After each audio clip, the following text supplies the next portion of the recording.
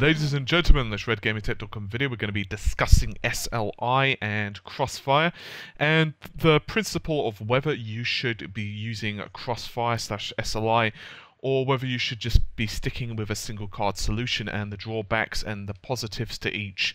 So before we get into actually whether you should or should not do so, let's first of all talk about the actual principle of what it is. Now I'm sure you know what it is for many of you, but maybe some of you don't, so I figure it's a good idea to go through the common ground first, and then we can, of course, be all on the same page.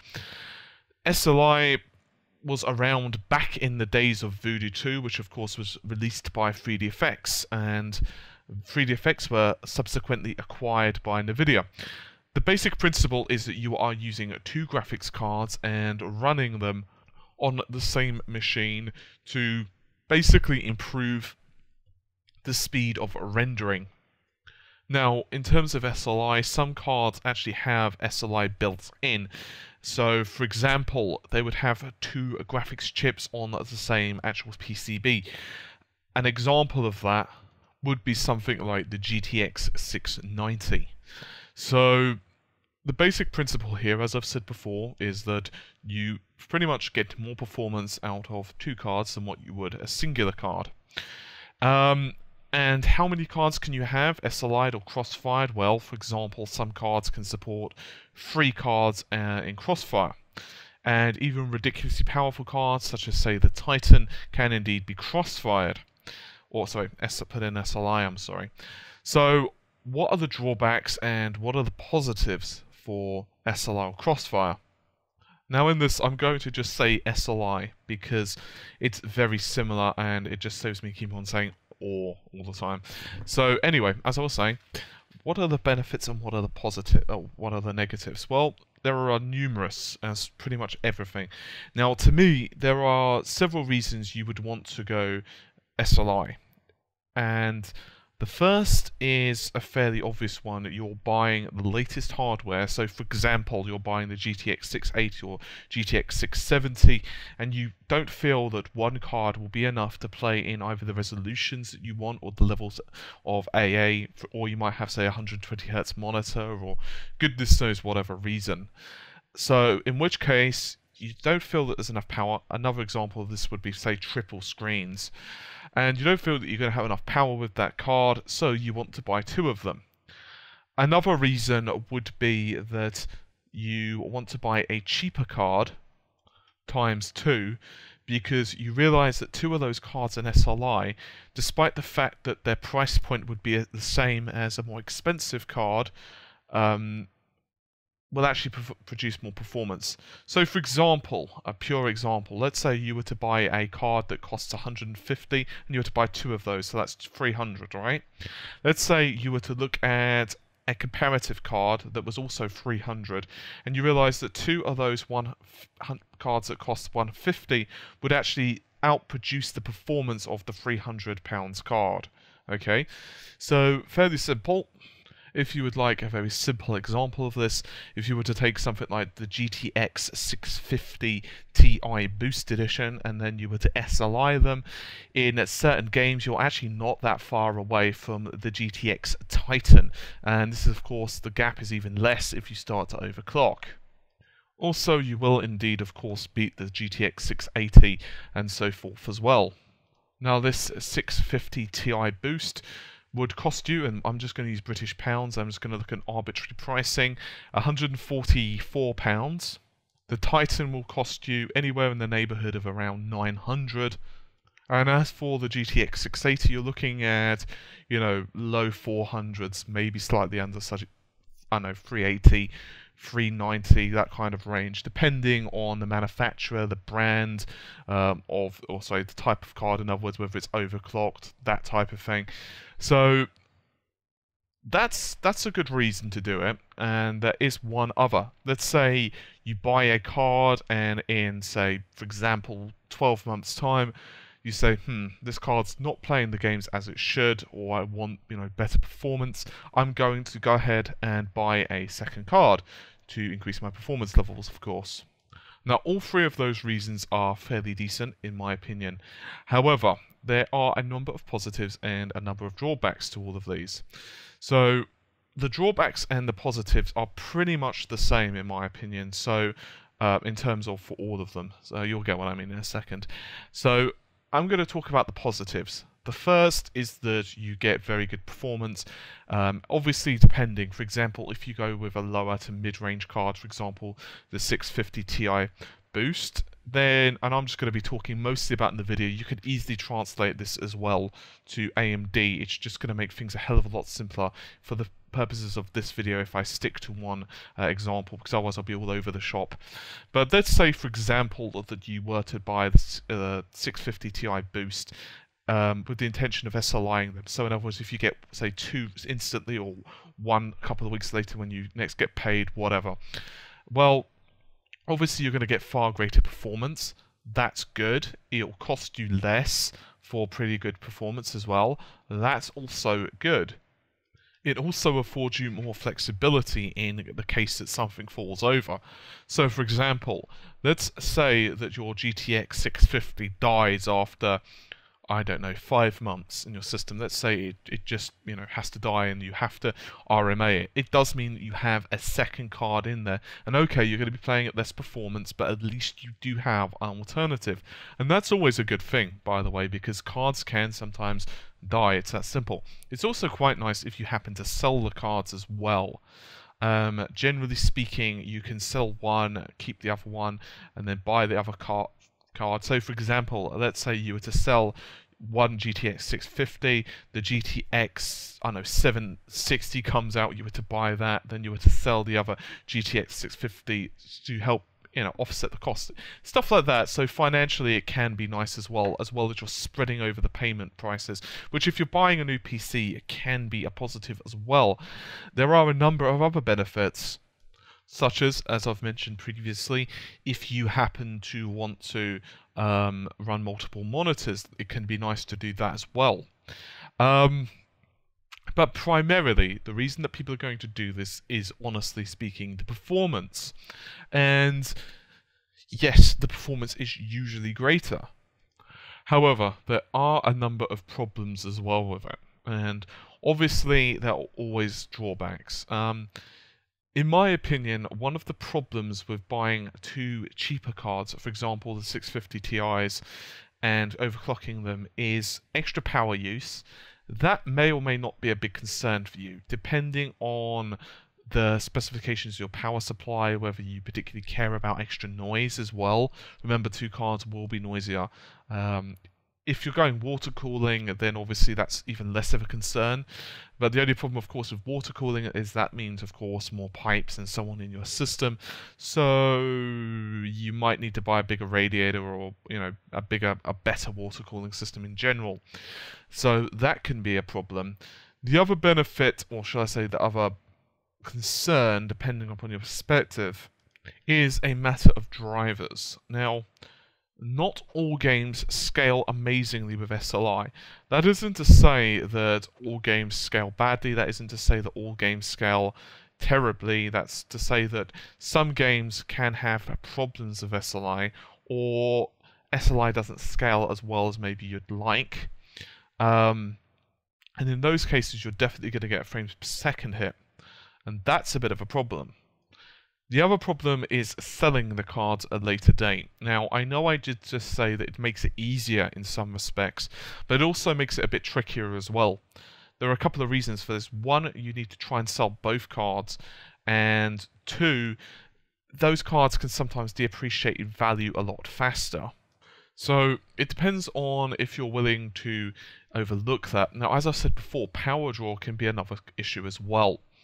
Um, it heavily depends on if you're willing to overlook the cooling, the the power usage and so on. If you are, then buying two cheaper cards and, you know, SLIing them for the performance of a better card can be an option. It is a pretty good option and many people start to do it.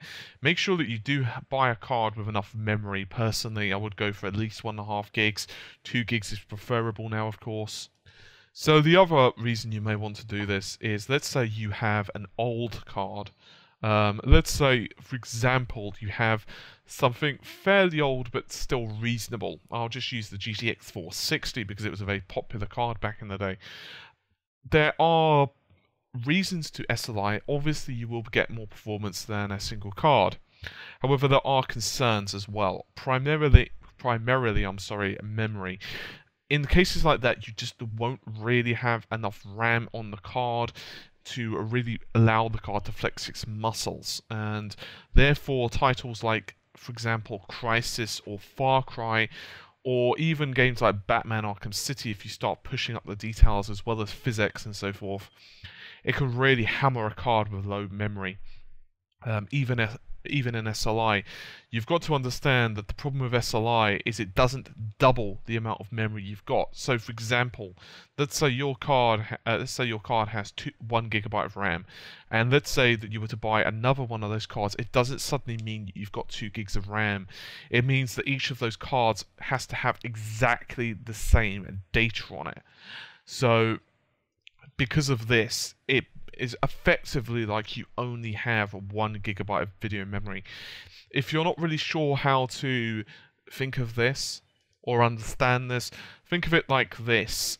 Rather than um, having two pages from a book, You've instead got the same page, but it's a photocopy of that page. So let's say, for example, page 1 has been photocopied. So you don't have page 1 and 2. Instead, you just have the first page photocopied, and therefore you have two copies of it. It's it's very similar to that. Um, so in terms of performance, it does go up, but in terms of the amount of memory, you don't get any more as well. So that can be a bit of a you know issue. Also, if your CPU is not particularly fast, um, you may lose performance as well because the CPU has to send data to both. This could also be a problem if you happen to have a more legacy PCI Express. I'm not saying you will. I mean, obviously, some of you may have PCI Express, you know, free with like a high-end CPU of some description, but it's just worth noting if you are upgrading, thinking of upgrading an older rig with um, a second card for SLI purposes. So performance in that respect can be a bit of a difficult uh, thing to really quantify because obviously if games are not memory kind of bound, then it's not too much of a difficult decision. It's a very good idea to go SLI. Um, especially if you have something like the GTX 480.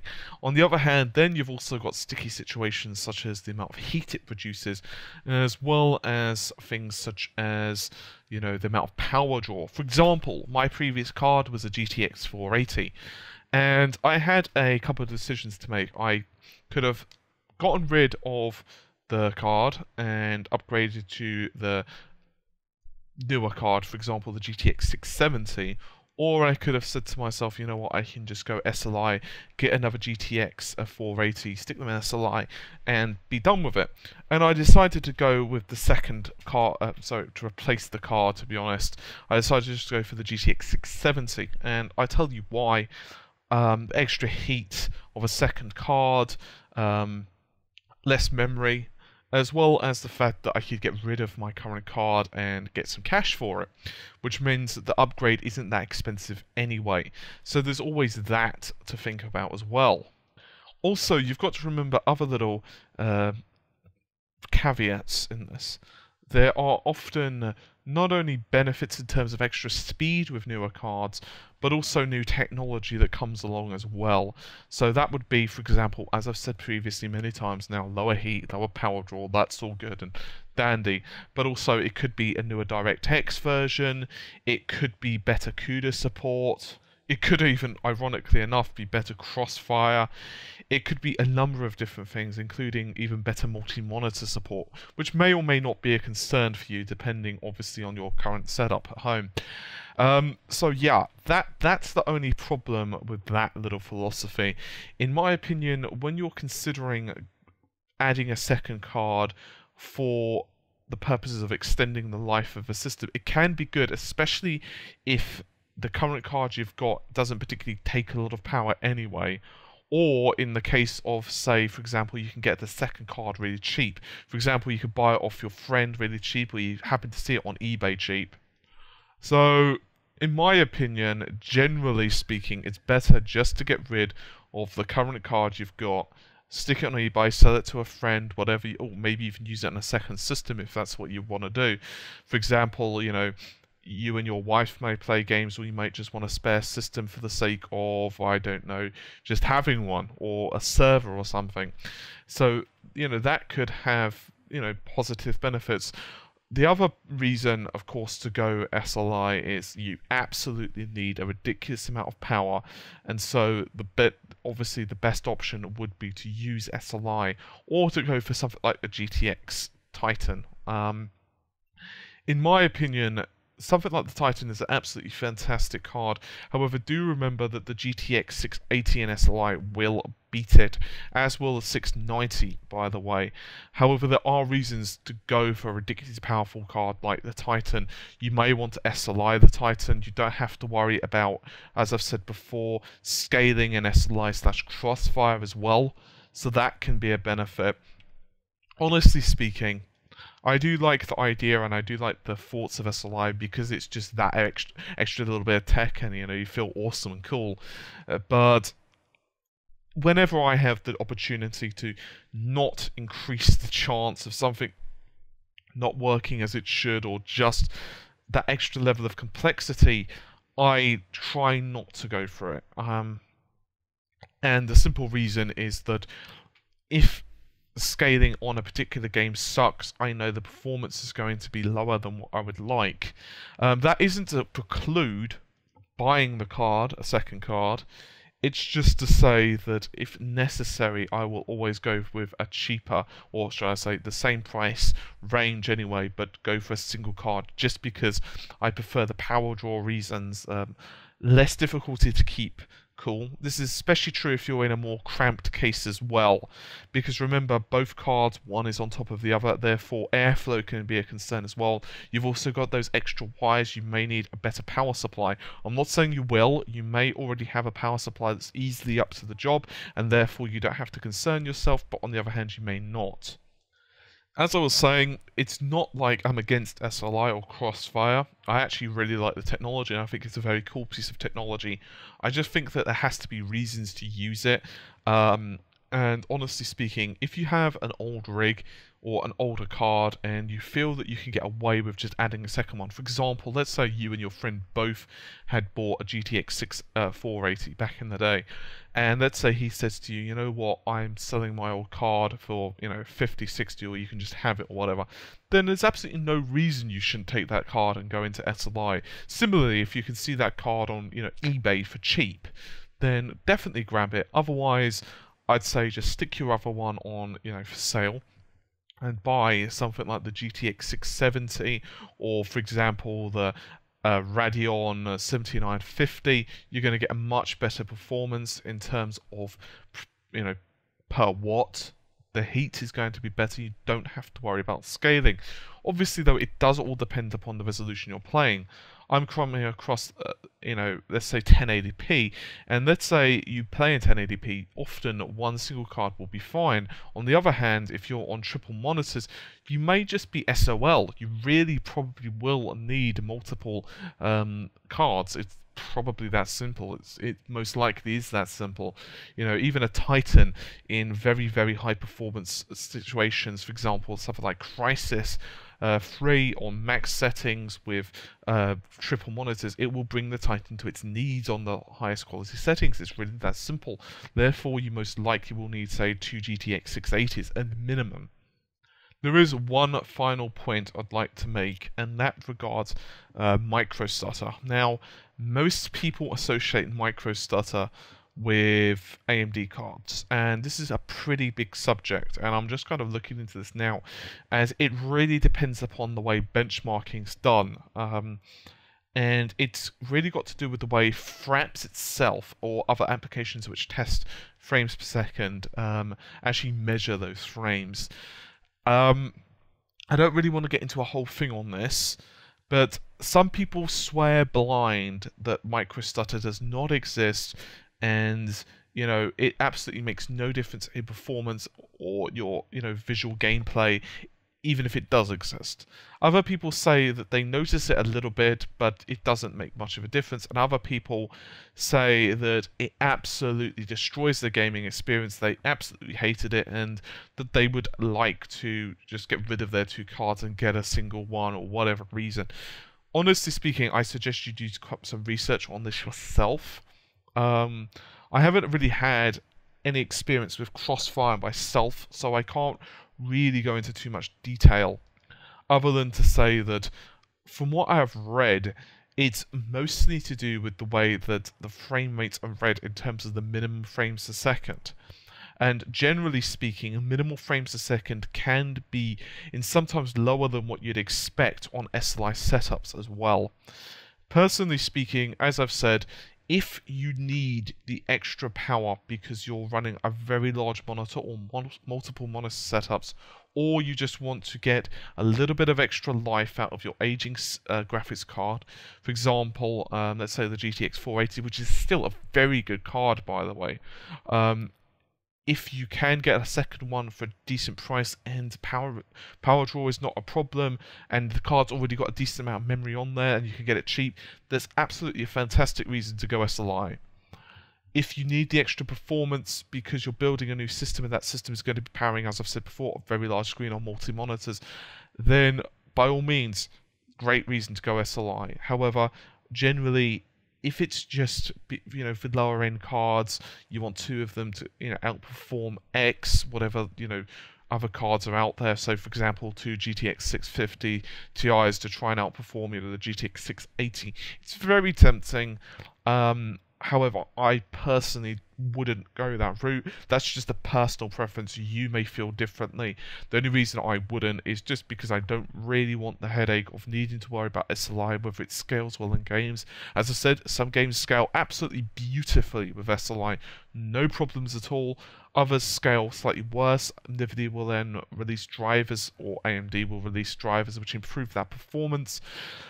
Um, and the other reason, of course, as I've said before, is extra heat, extra need to cool. However, that doesn't necessarily preclude or say it's a bad idea. It can be a very nice idea, depending upon the rest of your system.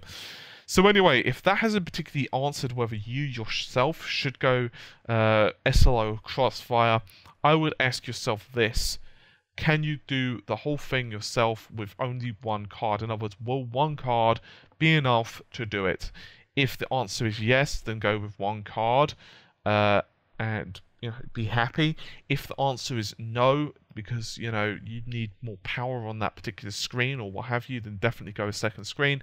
Or if you could buy a second card for cheap, which will give you a lot of extra performance, then go ahead and buy it. Once again, that's only my opinion. I know some people absolutely love SLI, but anyway, a few people have kind of messaged me asking me on my thoughts on SLI, and that is them. So anyway, I'm going to get going. Hopefully you guys are not hearing too much noise in the background. It's pretty noisy here. We have neighbours with family round, and so they're talking in their garden and um, goodness knows what else. So it's a kind of noisy environment, which is something I don't particularly like. Unfortunately, sometimes I have no power over the noise levels. Anyway, I hopefully you've enjoyed the video, and I will see you soon. Take care, and bye for now.